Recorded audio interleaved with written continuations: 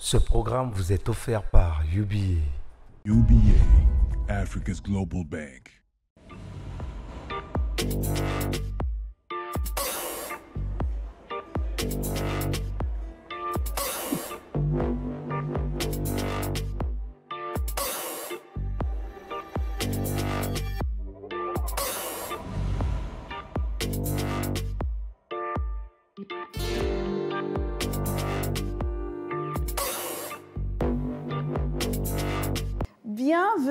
À tous. Lors de notre dernier numéro, nous parlions du marché financier de la communauté économique et monétaire de l'Afrique centrale, en abrégé CEMAC, disons de son fonctionnement. Aujourd'hui, la suite de notre thématique est axée sur les placements financiers pour qui et pourquoi. Notons que ces derniers occupent une place centrale dans l'économie moderne, permettant aux individus et aux entreprises de faire fructifier leurs capitaux tout en stimulant la croissance économique. Je l'admets, ces techniques des marchés financiers requièrent une connaissance approfondie et une stratégie bien pensée pour naviguer efficacement. Heureusement, nous aurons un expert sur ce plateau. Placement financier est le mot qui fait l'écho, la voix. Dites-nous tout. Qu'est-ce qu'un placement financier finalement?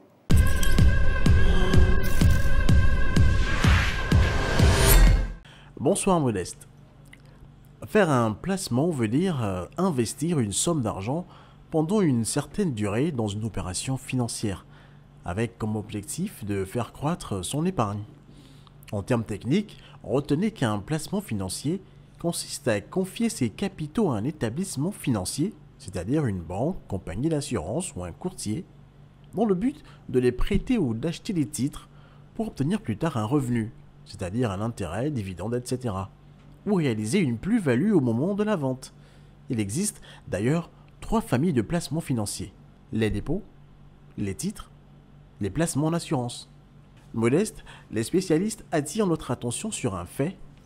Il est crucial de distinguer entre une épargne prudente et une avarice excessive. La prudence vise à assurer une sécurité financière, tandis que l'avarice est marquée par un refus de partager et d'investir. Par exemple, placer une partie de ses économies dans des investissements éthiques et productifs tout en maintenant une réserve d'urgence illustre un équilibre sain entre épargne et investissement. Et pour évaluer si l'épargne est excessive et bien, je vous laisse avec euh, notre expert du jour. Voilà, Modeste. Merci à vous, notre cher euh, ami Lavoie. Maintenant, on revient sur le plateau avec notre ami que l'on connaît déjà euh, aussi. Il s'agit de Willy Delors Ebo. Je rappelle que vous êtes, vous êtes expert en finance de marché et en gestion financière. On avait déjà débuté une première thématique avec vous. Je le disais à nos téléspectateurs, c'était en rapport avec la constitution même du marché financier de, euh, de la zone CEMAC. Maintenant, on veut axer notre émission sur les placements financiers. On a déjà eu la, définition tout à l'heure avec notre cher ami Lavoie. Donc, la thématique, la sous-thématique du jour, c'est placements financiers pour qui et pourquoi. Mais avant cela, revenons quand même un petit rappel. Revenons sur le marché financier et parlons de l'intégration régionale et du développement. Dites-moi, comment la coopération économique au sein euh, de, de, de la CIMAC influence-t-elle le développement du marché financier sous-régional? Alors, donc déjà, ce qu'il faudrait euh, rappeler, c'est que euh, le, le, marché est une volonté euh, commune, le marché financier, c'est une volonté commune des chefs d'État. Mmh. Donc, c'est une décision qu'ils ont prise. Et ce marché est un instrument déjà parfaitement au service des États eux-mêmes. Mmh. Ça veut dire qu'avant d'être un outil au service des opérateurs et des acteurs économiques, mmh. c'est d'abord un, euh, un appareil, on va dire ça comme ça, au service des États eux-mêmes parce qu'ils recourent beaucoup au marché. Mm -hmm. Et il faut dire d'ailleurs aujourd'hui que le, le, volume des émissions que nous avons sur le marché, euh, toutes catégories euh, d'actifs confondus, ben, est à plus de 70% euh, fait par les États. Donc les, les, États interviennent beaucoup, notamment pour lever de la dette, pour mm -hmm. mobiliser des financements sur le compartiment de la dette. Mm -hmm. Donc c'est un instrument dont ils se servent et donc qui est naturellement un, un, outil d'intégration parce que quand un État recourt à la dette sur le marché, eh bien, c'est tous les investisseurs de tous les États qui viennent souscrire et donc apportent de l'argent à cet État-là, quel qu'il soit. Mhm. D'accord?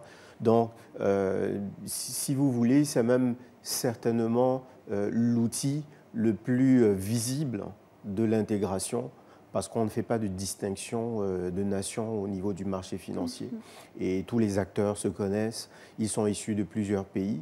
Euh, les émetteurs, donc, qui sont euh, très souvent les États, je le disais, quels qu'ils soient, on les connaît déjà très bien. Donc, quand mm-hmm. ils arrivent sur le marché, on a déjà des routines. et bah, ça fait que, naturellement, le marché. Donc, un outil essentiel pour l'intégration seulement financière? Non, je le disais justement par mhm. financier, parce que euh, euh, c'est d'abord euh, très visible. Mhm. Et tous les acteurs, comme je le disais, participent au marché, ce qui fait que grâce au marché et à toutes les activités que le marché permet de promouvoir, c'est financier certainement, mais on peut dire que c'est surtout euh, socio-économique de manière générale. D'accord. La CEMAC, c'est six États. Le monde évolue. Aujourd'hui, on parle beaucoup de numérique. Il y a la fintech, il y a la, la, la, blockchain. Est-ce que ce sont des technologies déjà adoptées dans notre sous-région? Alors, euh, disons que pour, pour, ce qui est euh, des technologies que vous êtes en train d'évoquer, mhm c'est des technologies qui sont mondiales. On a beaucoup d'acteurs qui utilisent euh, justement la blockchain. Euh, vous savez, on n'a pas besoin d'être à un endroit spécifique pour pouvoir le faire. Mm. Euh, donc, on a des acteurs qui développent la blockchain. On a des, beaucoup de fintech qui se développent, que ce soit au Cameroun, que ce soit au Congo ou même ici au Gabon. On a pas mal d'acteurs qui se spécialisent effectivement dans les fintech, mm. euh, puisqu'il y a une bonne adéquation entre cette nouvelle technologie et le monde de la finance. Question de dématérialiser un peu euh, les services pour les rendre un peu plus faciles euh, pour les gens qui ont besoin de prestations financières ou de prestations bancaires mm. et qui puissent le faire à partir de leur téléphone sans avoir à aller faire, par exemple, de longues queues ou aller rencontrer son, son, banquier, donc à partir de, leur téléphone, puisque ce sont des besoins qui sont réels et qui sont euh, encore même plus, euh, euh, j'ai envie de dire, importants dans, mhm. notre, dans notre sous-région, compte tenu du fait que les régions ne sont pas toujours accessibles. Donc du coup, ben, la FinTech trouve le terrain de l'Afrique centrale, en tout cas, mhm. beaucoup plus j'ai envie de dire, plus intéressant. Mhm. Le marché financier euh, de, la CEMAC est jeune, vous nous disiez également la dernière fois, il faut rappeler aux téléspectateurs pour qu'ils comprennent que nous sommes vraiment dans la poursuite de cette thématique euh, que l'on a entamée il y a quelques, quelques semaines et qu'il y avait un organe qui régule un peu tout cela, c'est la COSUMAV, mais il y a également une banque centrale, c'est quoi son rôle? Alors oui, tout marché a un, on va dire, un, instrument pour assurer les règlements. Mm. Parce que les transactions financières, c'est des mouvements de titres, mais c'est nécessairement aussi des mouvements, des flux financiers. D'accord? Le mouvement des titres va se faire à travers ce que nous appelons donc le dépositaire central, donc, qui est l'organe qui va gérer euh, justement les transactions au niveau des titres. Quand je vous vends des titres ou quand vous m'achetez des titres, il y a un mouvement de moi vers vous, mhm. d'accord? Donc c'est le dépositaire central qui gère cette partie des titres. Mais alors, quand je vous vends des titres, vous me payez en espèces, n'est-ce pas? Mhm. Donc il y a un mouvement financier de vous vers moi. Donc je vais recevoir de l'argent et vous, vous allez être débité de cet argent. Mhm. Et euh, il faudrait, pour gérer justement la partie espèces, que nous ayons ce qu'on appelle l'institution de règlement.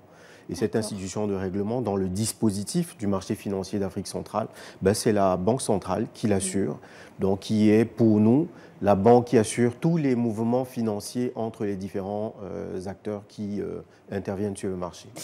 Très bien. Maintenant, entrons dans le vif du sujet. Parlons des placements financiers.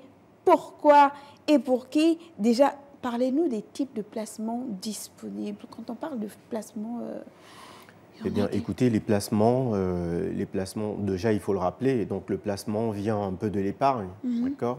Et, euh, et l'épargne, eh bien, écoutez, c'est la, c'est la, c'est la partie de vos revenus que vous mettez de côté, que vous n'allez pas consommer, d'accord? Et cette partie-là, qui est euh, donc votre épargne, vous avez le choix, vous pouvez le laisser en banque, ok Euh, Si vous le laissez dans votre compte courant, ben, il ne sera pas rémunéré. Par contre, euh, si vous avez un compte d'épargne et que vous mettez votre, euh, votre partie non consommée euh, de, de- de vos revenus. Il y a des donc, intérêts qui s'ajoutent voilà. chaque année. Vous vous accordez avec euh, la banque et il y a des intérêts qu'elle va vous payer. Donc, cette épargne est rémunérée. Bien. Maintenant, la question est de savoir, y a-t-il d'autres formes d'épargne qui soient peut-être plus intéressantes, qui soient plus dynamiques Eh bien, oui, la, la réponse est oui. Euh, vous pouvez faire le choix, comme je le disais, de manière très passive. C'est la chose la plus simple à faire, c'est de dire à mon banquier, ben, une partie de mon salaire, je veux le mettre dans mon compte d'épargne et vous me rémunérez combien? Eh bien, généralement, il faut le savoir, le banquier ne vous rémunérera pas grand-chose. ok? Euh, ce sera presque pour le principe. Donc, euh, sans vouloir faire de mauvaise publicité euh, à nos confrères À nos banquiers, euh, mais euh, toujours est-il qu'il y a des formes plus dynamiques et on va certainement euh, débarquer sur le marché financier pour pouvoir Mhm. l'illustrer. Vous avez aussi la possibilité d'investir dans autre chose, d'accord? Vous pouvez, euh, il y, a, il y a des placements immobiliers. Immobilier, Immobilier, effectivement. Il y a des obligations, des actions. Oui, et là, on débarque maintenant sur le marché financier qui propose une multitude de formules pour pouvoir euh, effectivement épargner. Des formules plus vastes que celles que peuvent nous proposer les banques. Oui, parce qu'il y a une multitude de produits, Hmm. d'accord, en fonction de votre, premièrement, horizon de temps, mais surtout en fonction de votre niveau d'acceptation du risque. Mhm. Si vous voulez faire des investissements euh, ou des placements beaucoup plus risqués, il y a des produits un peu plus risqués. Si vous voulez faire des, des placements qui sont entièrement sécurisés, on va vous proposer des produits qui sont entièrement sécurisés. Et là, on vient sur, on a deux principaux euh, euh, produits au niveau du marché financier. Il y a les actions, qui sont un peu plus risquées, c'est les parts des entreprises. Et évidemment, pour les choisir, il y a des techniques pour choisir euh, effectivement les sociétés les plus euh, intéressantes du point de vue de leur rentabilité, du point de vue euh, aussi de leur générosité. hein. parce qu'une une entreprise peut être rentable, mais ne pas nécessairement euh, distribuer les dividendes, ce qui vous intéresse, parce que si vous investissez en actions, dont vous devenez euh, un peu copropriétaire de l'entreprise avec ceux qui euh, la, la- la- la- la possèdent, eh bien, vous attendez en retour des dividendes que l'entreprise va vous distribuer et qui est en fait une part des bénéfices, n'est-ce pas, qu'elle distribue à tous ses actionnaires, donc ceux qui ont fait le choix d'investir, donc de l'accompagner dans ses projets. Là, c'est les actions. D'accord Maintenant, vous avez une autre forme de, de- de placement qui porte sur un autre produit. Et là, on parle des obligations. Là, c'est de la dette. C'est-à-dire que la même entreprise peut vous dire non, vous n'entrez pas dans le capital, mais par contre, cet argent dont j'ai besoin, je souhaite plutôt que vous puissiez me la prêter. Et donc, elle va émettre euh, donc des, des- des titres qu'on appelle des obligations, et vous lui donnez de l'argent contre ces titres. Et vous êtes en droit d'attendre quoi? Ben, Vous attendez qu'elle vous donne des intérêts un peu finalement comme la banque, n'est-ce pas? Euh, Sauf que là, vous financez directement, n'est-ce pas, euh, celui qui en a besoin. Parce que la banque a un peu l'intermédiaire. Quand vous donnez l'argent à la banque, elle se retourne vers celui qui en a besoin et elle lui prête. Et évidemment, dans ce jeu d'intermédiation, elle prélève euh, ce qui va être en fait euh, ses revenus. Là, sur le marché financier, vous prêtez directement à l'entreprise qui en a besoin. Évidemment, il va mettre à votre disposition euh, un certain nombre d'informations pour vous permettre d'apprécier un peu le risque, n'est-ce pas? Vous devenez quelquefois, euh, quelque peu euh, la, la- la banque, euh, parce que c'est vous désormais qui décidez, je lui prête euh, à telle entreprise et pas à telle autre en fonction des critères et des Mais informations. là, le marché financier, il est plus vaste, mais cela veut dire que la réglementation aussi doit être importante. Quelles sont les, les lois? Est-ce qu'il existe les lois? On sait qu'elles existent, vous allez nous les rappeler. Les lois et régulations qui régissent les placements financiers en zone CEMAC. Alors, euh, je vous, euh, je vous le disais, et ça ne vous a pas échappé, que nous avons effectivement un, un régulateur. Ce régulateur est parfaitement outillé pour faire quoi? Eh Bien, Pour contrôler l'épargne, parce qu'à partir du moment où ceux qui apportent les investissements, c'est monsieur tout le monde, ben, il faudrait que quelqu'un le protège parce qu'il n'est pas un banquier, il n'est pas un spécialiste de la finance. Et même si on met à sa disposition un certain nombre d'informations, il n'a pas toujours la possibilité de pouvoir apprécier ces informations à leur juste valeur. D'où la nécessité qu'il y ait un organe de régulation qui le protège. D'accord?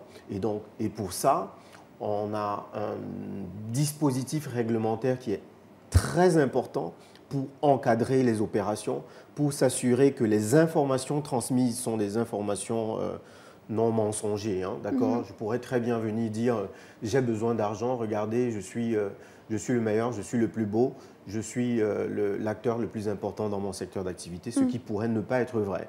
Donc le rôle un peu du régulateur est de s'assurer que les informations qui ont été transmises sont des informations qui sont vérifiées, vérifiables, et aussi que les chiffres mis à la disposition du public soient des chiffres qui soient effectivement audités et, euh, et, euh, on va dire vérifiés. Allons-y un peu avec un schéma, une, une démarche bien schématisée.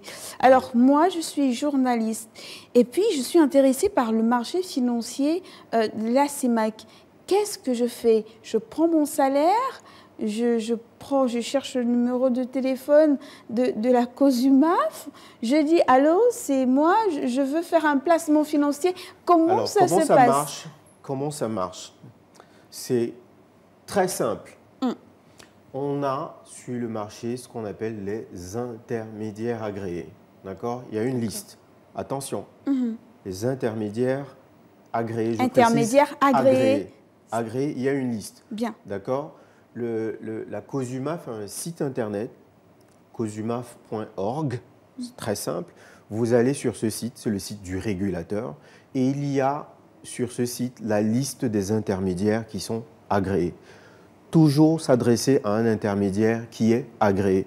D'ailleurs, si quelqu'un vient vers vous dans la démarche de solliciter votre épargne, de solliciter euh, votre placement, la première vérification que vous faites, c'est vous assurer que c'est un intermédiaire agréé. Il doit pouvoir vous communiquer son numéro d'agrément que vous pouvez vérifier par la suite.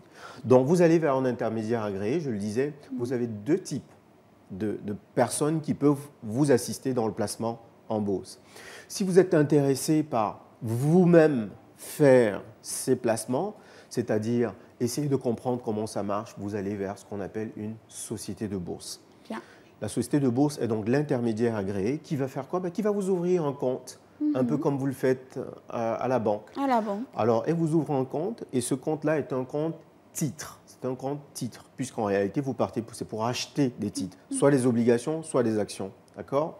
Et cette société de bourse met gracieusement à votre euh, disposition aussi des conseils, des conseils sur euh, les entreprises qui sont cotées, celles qui peuvent être intéressantes de votre point de vue, n'est-ce pas? On peut vous dire ex- exactement ce que ces entreprises font. On peut vous présenter euh, aussi euh, leurs résultats le plus récent, comme les résultats historiques, pour vous permettre effectivement d'apprécier leur santé financière. Donc, la société de bourse fait ce travail pour vous. Elle vous assiste, elle vous conseille et vous donne les clés pour pouvoir faire votre, euh, la composition de votre portefeuille. Bien. OK Je veux un peu d'actions, je veux un peu d'obligations, ou plutôt non, euh, je ne veux prendre aucun risque, on va vous diriger vers les actions, on va vous dire quelles sont les actions qui sont les, les obligations, autant pour moi, qui sont disponibles sur le marché et euh, combien ça coûte. Généralement, dans notre sous-région, euh, une obligation, c'est 10 000 francs. Vous voyez, c'est accessible à tout le monde. Et euh, pour ce qui est des actions, euh, ça varie. hein. Ça va de 200 000 à 21 000, euh, euh, donc en fonction des, des entreprises qui sont, qui sont cotées en bourse. Donc c'est vraiment accessible à tout le monde. Et donc je le disais, une fois que la société de bourse vous a ouvert un compte titre et espèces, vous avez la possibilité de commencer donc à acheter. Donc vous allez mettre de l'argent dans votre compte. ok Vous Par êtes exemple, vraiment dans la peau de l'investisseur. vous êtes déjà un investisseur. En fait, en réalité, dès que votre compte est ouvert, vous êtes déjà admis dans le cercle des investisseurs. D'accord. Maintenant, quand vous le souhaitez, vous rechargez, ça marche un peu comme ça, hein, votre compte. Donc, vous mettez de l'argent, des espèces, qui vous donnent la possibilité d'acheter avec euh, cet argent les titres qui vous intéressent. Ça peut être les obligations. Il y, a une, euh, les- il y avait euh, très récemment, c'était l'emprunt euh, de l'État du Gabon sur le marché. Vous dites, OK, je veux prêter de l'argent à l'État du Gabon euh, contre, je pense que 6,5, euh, 6 6,5% de taux d'intérêt. C'est toujours plus intéressant que ce que me propose le Et la, banquier. la- la seconde démarche, vous nous avez parlé Voilà, de- là c'est la première démarche. C'est si j'ai envie d'être moi-même acteur. L'autre démarche, c'est je n'ai pas le temps, je ne m'y connais pas. J'ai envie d'aller vers un professionnel agréé de la gestion et vous vous dirigez maintenant vers ce qu'on appelle une société de gestion. Tiens, Attention, il y a un registre des sociétés de, de gestion agréé. ils doivent être agréés. Donc, vous allez et la société de gestion vous propose des produits déjà conçus. Donc, ils ont déjà fait un package. Donc, vous prenez des parts dans un fonds qui a déjà été constitué pour acheter soit des actions, soit des obligations. Généralement, on a aussi ce qu'on appelle des fonds mixtes qui, qui font un peu des deux. Donc, toujours en fonction de votre profil, la société de gestion va vous dire, OK, investissez dans ce fonds action qui, lui, euh, donc le fonds collecte de l'argent et investit donc, dans les actions. C'est pour permettre d'être un peu plus, vous voyez, un peu plus puissant parce que si vous avez euh, 100 000 francs, euh, votre collègue a 100 000 francs, plus moi 100 000 francs, ça fait 300 000. Alors imaginez que nous soyons des milliers. à nous constituons un fonds qui devient assez intéressant et qui d'ailleurs a la possibilité de pouvoir euh, commencer à influencer le marché parce que étant déjà un fonds Tout ce que significatif. vous dites Voilà. est tellement alléchant et ça donne envie, mais n'empêche qu'il existe des risques. Monsieur Hebdo, alors dites-nous, quels sont les principaux risques associés au placement financier euh, dans notre zone et comment les éviter? Alors, déjà, ce qu'il faut savoir, c'est oui, il y a un risque. Euh, on, on- on ne peut pas le nier. Mais il faut garder à l'esprit que le marché est régulé, il est réglementé. Ce qui réduit significativement les autres formes de risques qu'on peut avoir quand on investit dans autre chose. D'accord? Sur le marché, le seul risque pratiquement que vous aurez, en fait, c'est un risque de performance. D'accord? Sur les obligations, il y a très peu de risques. Généralement, ce sont nos États qui interviennent. Un risque de performance. De performance, ça veut dire j'ai investi en actions, d'accord? J'ai acheté les actions de SCGRE, par exemple. Eh bien, quand j'achète les actions de SCGRE, c'est parce que j'anticipe la performance d'SCGRE sur les prochaines années. Et j'anticipe aussi que SCGRE va faire donc des bénéfices et me euh, distribuer une part de ces bénéfices sous forme de dividendes. Tiens. Maintenant, si la performance de SCGRE n'est pas celle que j'attendais, supposé qu'on soit en dessous de ce que j'avais espéré, qu'elle ne fasse pas de argent. bénéfices, non, vous ne perdez pas votre argent, mais vous n'en gagnez pas. Vous n'en gagnez pas. Vous demeurez actionnaire de SCGRE. Mhm. Euh, peut-être qu'il y aura des années euh, plus fastes, Mhm. euh, les années d'après. Et peut-être alors que euh, c'est à ce moment-là que vous serez récompensé. Mais vous voyez, vous prenez un peu plus de risques quand vous accompagnez euh, les entreprises parce que vous dépendez de leur performance.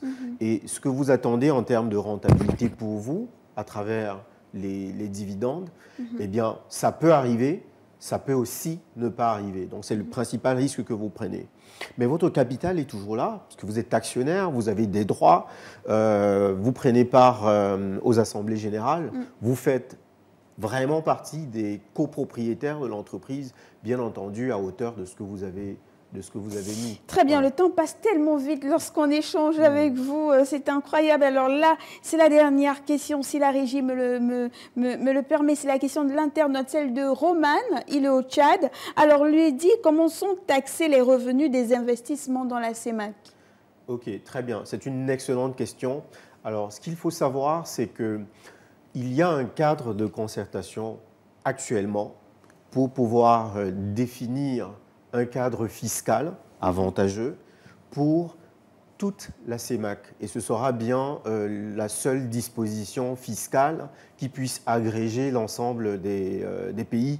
Parce qu'aujourd'hui, ce qu'il faut dire, c'est que c'est pays par pays en fait qu'on a une fiscalité. Donc si vous êtes résident euh, au niveau du Gabon, vous aurez une fiscalité des valeurs mobilières qui sera celle applicable seulement au Gabon. Ceux qui sont au Cameroun ont une fiscalité qui va être parfois euh, différente. Donc oui, sur chaque revenu que vous avez, par exemple les dividendes dont on parlait tout à l'heure, le dividende est un revenu, Ce dividende va payer en impôt, c'est l'impôt sur euh, les valeurs mobilières. Et euh, en fonction des pays, il va, euh, il, il va être euh, différent. Mais vous voyez, la plupart des États, puisqu'ils ont été d'accord sur le principe de dynamiser le marché financier, ont créé un cadre incitatif, c'est-à-dire que vous avez sur, euh, je pense que c'est 5, États sur 6, vous avez des abattements, ce qui veut dire en fait que vous ne payez pas plein pot euh, en termes d'impôts, parce qu'il y a des dispositions euh, qui ont été prises pour, euh, on va dire, alléger, voilà, et, justement ramener les gens un peu en bourse. Ce n'est pas de zéro, hein, c'est pas Mhm. de zéro, mais euh, il est très réduit pour permettre aux gens de profiter effectivement de leurs revenus de placement. On espère que Roman pourra profiter de votre réponse. Merci à vous, Merci. Willy Delors Ebo. Je rappelle que vous êtes expert en finance de marché et en gestion financière. C'était la suite de notre thématique sur le marché financier de la CEMAC, comment ça marche? Et aujourd'hui, on s'est posé la question de savoir les placements financiers, c'est pour qui et c'est En somme, les placements financiers, vous l'avez vu avec notre expert, sont un outil puissant pour la croissance et la sécurité euh, financière, mais ils nécessitent une approche informée et stratégique. La diversification, l'accompagnement professionnel, la gestion du risque et l'investissement euh, responsable sont des piliers essentiels pour naviguer avec succès dans l'univers complexe des placements financiers. En restant informés et prudents, les investisseurs non seulement protéger leur patrimoine, mais également contribuer à une économie plus durable et plus équitable, surtout en s'orientant vers des experts comme notre invité. Restez sur Gabon 24 et surtout n'oubliez pas que le temps de la réflexion est une économie de temps. Au revoir.